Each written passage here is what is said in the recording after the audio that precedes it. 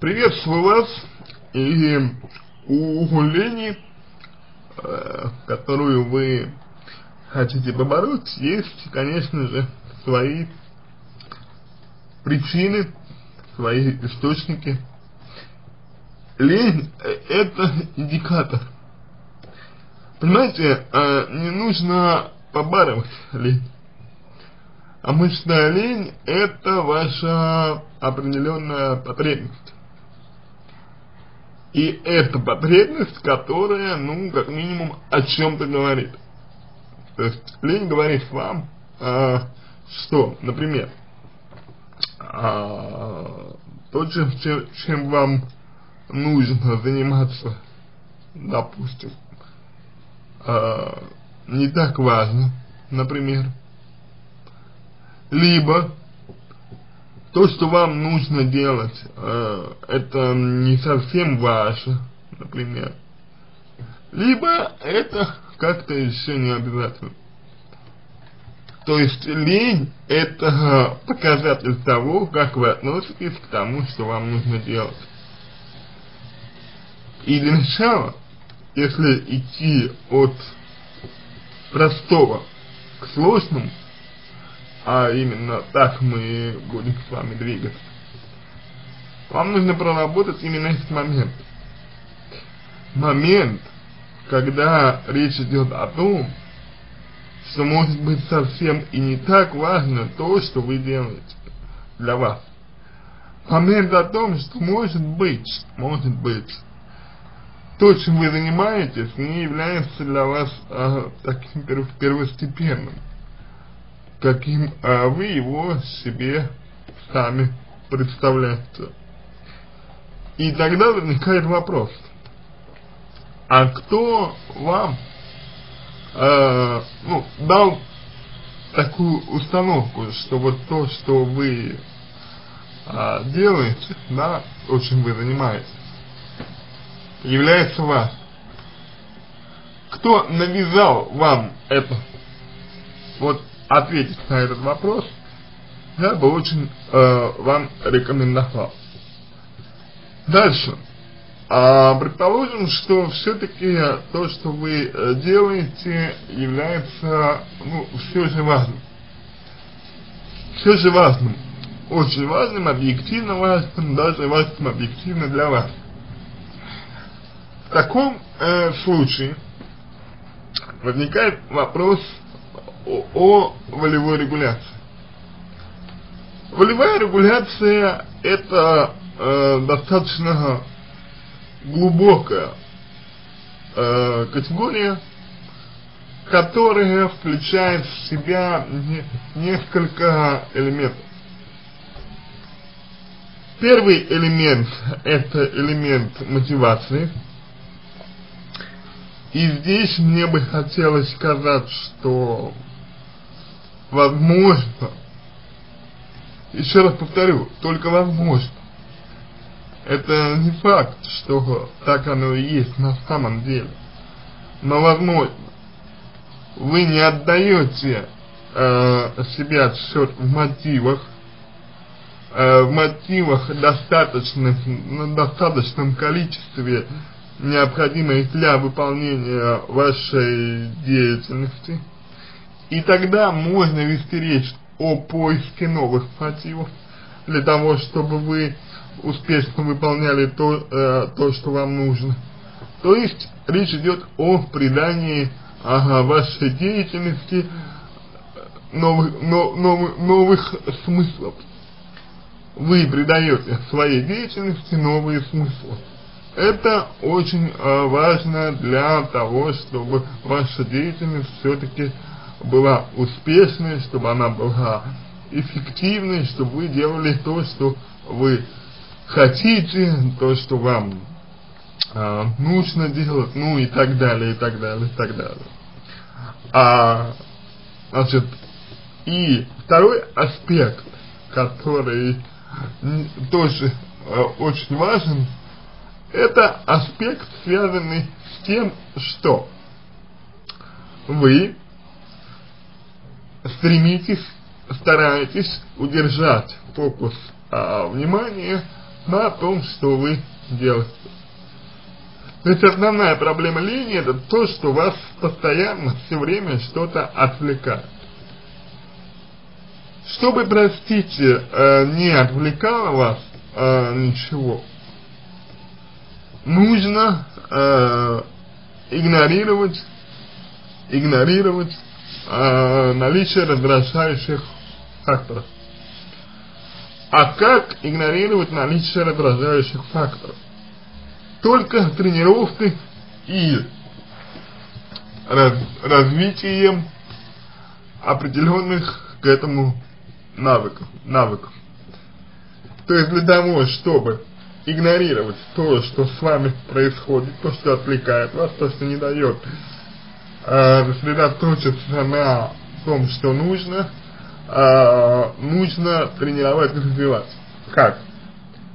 Ну, во-первых, э, скажем пару слов о том, что представляет из себя, собственно, это самое, этот самый фокус внимания. Фокус внимания это э, некая такая сфера, э, в центре которой находится то, что вам нужно делать, что вам нужно выполнять и выполнять. И проблема в том, что вы, когда начинаете э, что-то делать, в этот фокус внимания, в, этот, э, в эту сферу э, вторгается что-то еще.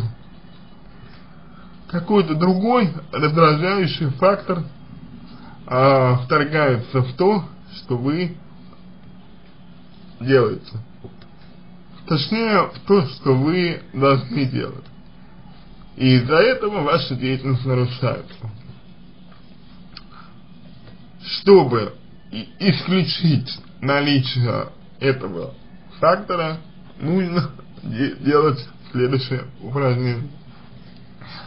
Как я уже сказал, э, это навык, навык э, по игнорированию раздражающих элементов, которые всегда есть в нашей жизни. И этот навык нельзя, к сожалению, просто взять и э, ну как сказать, просто взять и э, начать использовать. Его нужно развить. Для этого берем э, листок бумаги и кладем его перед собой. И пытаемся э, хотя бы 2-3 минуты думать только о нем, о листке бумаги, и ни о чем больше. 2-3 минуты подумали, расслабились, передохнули, и еще э, столько же времени начали о нем думать. Вам надо смотреть на него и, э, глядя на него, думать только о нем. Э, не позволять мыслям о другом о чем-то, э, как бы вытеснять первоначальные мысли о в этом листке бумаги. Вы удивитесь, насколько это будет сложно э, в первый раз, но потом у вас это будет получаться, и когда вы увидите, что у вас получается, можно время увеличить. Так увеличивать время можно до 20 минут, до 30 минут, а потом переходить к более сложным предметам. Например, этот предмет может, этим предметом может быть э, стакан воды или что-то еще. И думать вам нужно по-прежнему только о, нем, только о том предмете, который вы выберете. Пожалуй, это то, что поможет вам учиться именно концентрировать э, свое, свое внимание на чем-то одном и не распылять э, его на другие вещи. Ну и, наконец, последний аспект э, это то, что вам нужен мотив извне, особенно если вы испытываете все равно недостаточную мотивацию и недостаточные средства для того, чтобы делать то, что вы хотите. А, и мотив, как бы мотивация извне, мотив извне, заключается в том, что вы, например, если нужно что-то делать такое механическое, вы, например, включаете музыку, или, например, совершаете какое-то ритуальное действие и так далее. А, то есть вы с чем-то в своем сознании связываете то, что вам нужно сделать, и что-то еще это что-то еще облегчит вам выполнение того, что вам нужно делать в следующий раз. Потому что когда вы сделаете это что-то еще, например, включите музыку, вы, вы э, автоматически уже будете готовы к тому, чтобы делать то, что вам нужно делать. Далее вы пишете, что вы нервничаете из-за того, что ленитесь. Понимаете, нер нервозность, невроз, это когда человек пытается быть тем, кем он не является на самом деле. То есть вы пытаетесь делать то, что вам не по душе, вы пытаетесь заниматься тем, видимо, что вам не очень нравится, вы пытаетесь, пытаетесь заставить себя делать то, что не идет от души, вызывает некоторое отторжение и противоречие, то есть конфликт. А, соответственно, именно причину того, что вы нервничаете, нужно разобрать более подробно, почему вы пытаетесь делать то, что вам не очень нравится, почему вы пытаетесь быть тем э, человеком, которым, которым вы не являетесь, и, э, значит, э, что заставляет вас это делать. В принципе, на этом разговор про Ли, на этом ответ на ваш э, вопрос можно закончить.